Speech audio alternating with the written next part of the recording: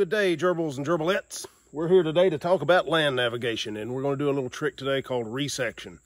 Uh, resection is, allows you to find your current position on a map, on a topo map, based upon uh, compass azimuths to known terrain features that you can see in the distance.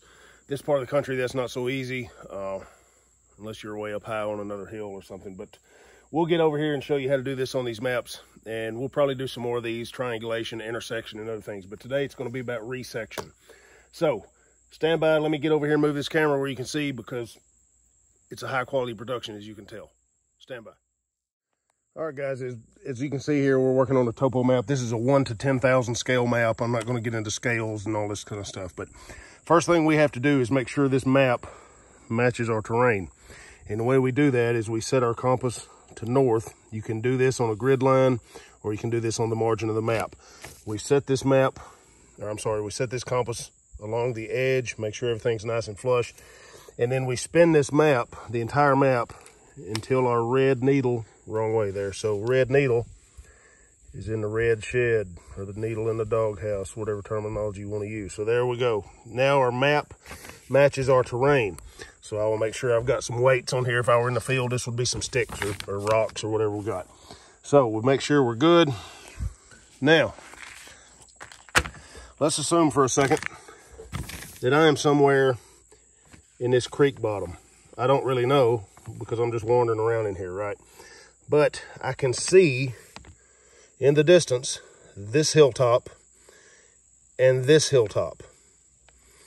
All right, so what I'm gonna do is I'm gonna stand and I'm gonna shoot an azimuth to the top of the hilltop, the peak or whatever I can see on this hill right here.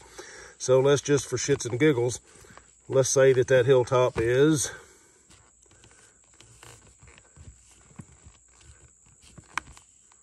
from my position, let's say this hilltop is 340 degrees, right?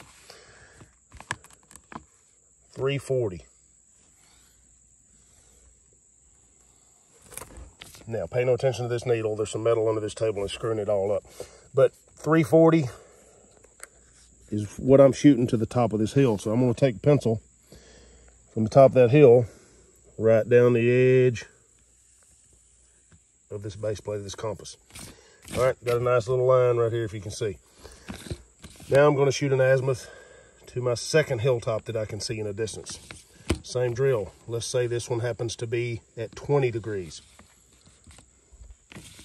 I'm gonna lay that base plate of that compass on that hill from my position at the 20 degrees, and I'm gonna draw a line right down the edge of that compass. The point at which these two lines intersect is my current position.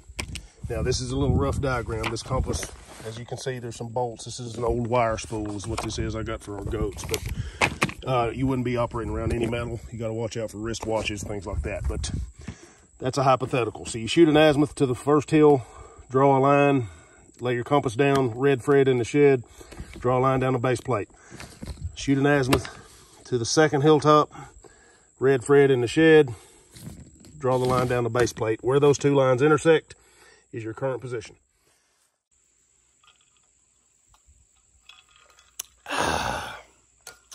First bourbon of the day. All right, guys, that's how you do resection. Orient your map, Shoot your azimuths to two terrain features that you can see off into the distance. Draw a line down the base plate of the compass back to your current location. Where those lines intersect is your current location. Then you can get your grid coordinate, do what you got to do. But that's how you determine a coordinate. I'll do some more on these, uh, on things like this, like triangulation and intersection over the few, next few days. And uh, it's a good skill to have. So you search and rescue folks, or you will, people to get out and backpack and hike and stuff, uh, get you some topo maps and practice these skills. Good stuff to know. Y'all stay safe and take care.